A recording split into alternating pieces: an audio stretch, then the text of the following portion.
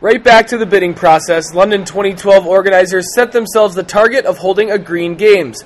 It won the bid on a plan to hold an environmentally and economically sustainable games that would leave a legacy long after the closing ceremony.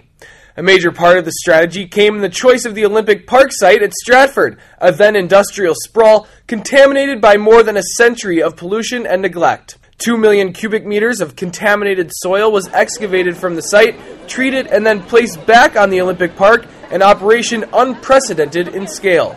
The construction of the stadium was also revolutionary with recycled gas pipes and concrete used to form the structure. The park also uses a range of energy saving devices.